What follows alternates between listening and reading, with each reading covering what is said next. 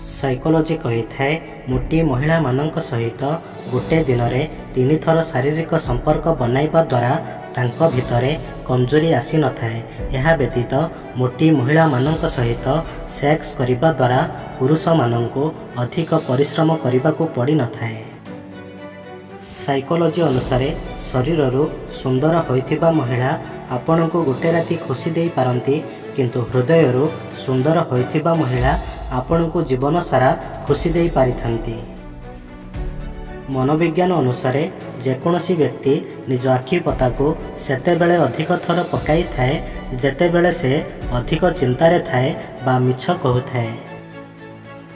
Psychology ଅନୁସାରେ ଯେଉଁ ଲୋକମାନେ ଅଧିକ ଲାଜ କରିଥାନ୍ତି ସେମାନଙ୍କ ପାଖରେ ସବୁ କଥାକୁ ବୁଝିବାର ସ୍କିଲ୍ ଅଧିକ ଥାଏ।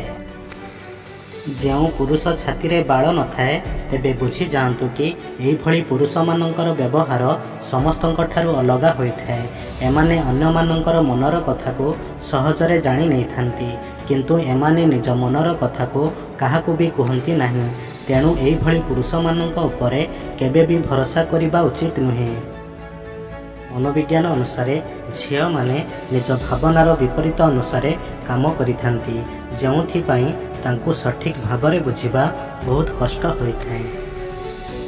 ସାଇକୋଲୋଜି ଅନୁସାରେ ଯଦି ଗୋଟେ ସୁନ୍ଦରୀ ମହିଳା ଏକୁଟିଆ ରହୁଥାନ୍ତି ତେବେ ବୁଝିଯାଆନ୍ତୁ କି ସେ ବାକି ମହିଳାମାନଙ୍କ ଠାରୁ ଅଧିକ ଚାଲାକ ହୋଇଥାନ୍ତି।